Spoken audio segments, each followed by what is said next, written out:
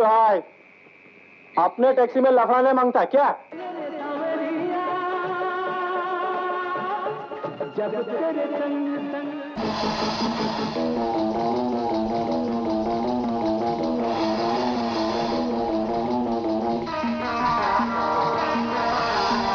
बम्बई नगरी सोलह सिंगार किए और मोतियों का हार पहने सो रही तुमको कह रही थी ये शरीफ घर की लड़की है? हाँ ये शरीफ घर की लड़की है। मुखिया जी कोठे पर पैदा नहीं हुई। कोठे पर पिकी है। इस जैसे कमीने ने इसे बेचा है।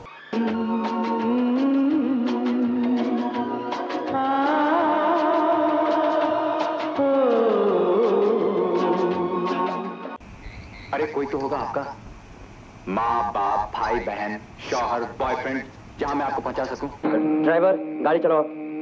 रोको रोको नहीं तो मैं चिल्लाऊँगी। क्या चिल्लाएगी? नहीं बंसी। अकेला जाने के लिए मैं यहाँ नहीं आया। मैं जाऊँगा तो तुम्हें अपने साथ लेकर। अमिताभ बच्चन और जया भादुरी स्टारर फ़िल्म बंसी बिरजू 29 अगस्त सन 1972 को रिलीज़ हुई थी। फ़िल्म बंसी बिरजू, जया भादुरी और अमिताभ बच्चन के रिश्ते के शुरुआती दौर में बनी थी। उस वक्त जया भादुरी इंडस्ट्री की बड़ी स्टार थी, लेकिन अमिताभ बच्चन का कोई स्टार वैल्यू नहीं था। अमिताभ बच्चन के डूबती फिल्मी करियर को संभालने के लिए जया भादुरी ने दो फ़िल्में एक नज़र और बंसी बिरजू में अपनी मार्केट वैल्यू से काफ़ी कम कीमत पर काम करने के लिए तैयार हो गए थे। फ़िल्म बंसी बिरजू का निर्माण और निर्देशन प्रकाश वर्मा ने किया था। अज़ीज़ कुवाशी ने कहानी, पटकथा और डायलॉग्स लिखे थे। फ़िल्म में अमिताभ बच्चन और जया भादुरी के अलावा निगार सुल्ताना, रमेश देव, अनवर अली, यूनुस परवेज, के एन सिंह और राजन हक्सर भी थे। फ़िल्म के संगीत विजय राघव राव द्वारा तैयार किया गया था। फ़िल्म के शूटिंग पूरी होने के बाद भी फ़िल्म के डिस्ट्रीब्यूशन के लिए कोई भी डिस्ट्रीब्यूटर नहीं मिल रहा था, क्योंकि फ़िल्म के हीरो थे अमिताभ बच्चन। ये जानने के बाद कोई भी डिस्ट्रीब्यूटर इस फ़िल्म के डिस्ट्रीब्यूशन राइट्स या वितरण अधिकार खरीदने के लिए तैयार ही नहीं हुआ। इस बात का अंदाज़ा शायद फ़िल्म के मेकर्स को काफ़ी पहले ही हो चुका था। इसलिए फ़िल्म की शूटिंग थोड़ी आगे बढ़ने के बाद उन्होंने जूनियर महबूब को फ़िल्म के एक कैमियो रोल में शामिल कर लिया, क्योंकि उन दिनों जूनियर महमूद की मार्केट वैल्यू बहुत ज़्यादा थी और फ़िल्म के डिस्ट्रीब्यूटर्स उनके नाम पर फ़िल्म के डिस्ट्रीब्यूशन राइट्स खरीदने में तैयार हो जाते थे। हालाँकि फ़िल्म में अमिताभ बच्चन और जूनियर महमूद का एक साथ कोई भी दृश्य या सीन नहीं था। आखिरकार सी एल वंसल नाम के एक डिस्ट्रीब्यूटर ने फ़िल्म के डिस्ट्रीब्यूशन राइट्स खरीदे और इसे दिल्ली और उत्तर प्रदेश में रिलीज़ किया।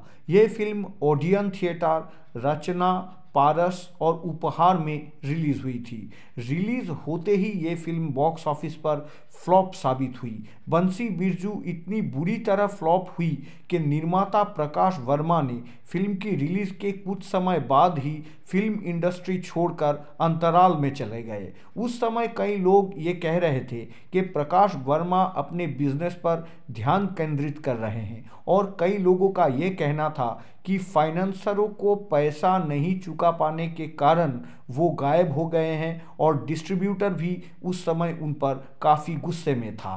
फ़िल्म बंसी बिरजू में काम करने वाले एक जूनियर कलाकार ने कहा कि उन्हें और उनके जैसे किसी भी दूसरे जूनियर कलाकार को फ़िल्म में काम करने के लिए कोई भी पारिश्रमिक या मेहनताना नहीं मिला था। यहाँ तक कि कई टेक्नीशियंस को भी पैसा नहीं मिला। फ़िल्म से जुड़े किसी भी टेक्नीशियंस को भुगतान नहीं किया गया था, सभी का पैसा बकाया था। यहाँ तक कि जया भादुरी के सेक्रेटरी सुशीला कामत को भी इस बात का पता ही नहीं था कि जया भादुरी ने कब एक नज़र और बंसी बिरजू, ये दोनों फ़िल्में साइन कर चुके हैं। उनका कहना ये था कि अगर कोई निर्माता या निर्देशक जया भादुरी को उनके फ़िल्म में रखने के दिलचस्पी दिखाते थे तो ये बात उन्हीं के ज़रिए पहले जया भादुरी तक पहुँचती थी। लेकिन इस मामले में वो भी पूरी तरह से अनजान थी कि जया भादुरी ने कब इन दोनों फ़िल्मों की शूटिंग शुरू कर दी थी। ऐसे भी क्या जल्दी? दूसरी बस नहीं पकड़ सकती थी? बाहर बम गिर रहा है क्या? क्यों सावित्री? तुम तो कह रही थी ये शरीफ घर की लड़की है। ये काम किया तूने भगा के लाया छोकरी को? मैं भगा के नहीं लाया मम्मी। हम कुछ नहीं जानता हमारा घर में ऐसा लफड़ा बफड़ा नहीं माँगता। मगर मेरी बात निकल जाओ। ज़िंदगी में मैंने बहुत से सपने देखे थे लेकिन आज ऐसे लग रहा है जैसे उनमें से एक सपना साकार हो गया इस फ़िल्म के प्रोड्यूसर प्रकाश वर्मा ने 80 के दशक में फ़िल्म एक दूजे के लिए के सफलता के बाद कमल हसन और देवानंद को लेकर दो दीवाने प्यार के नाम के एक फ़िल्म का निर्माण शुरू किए थे।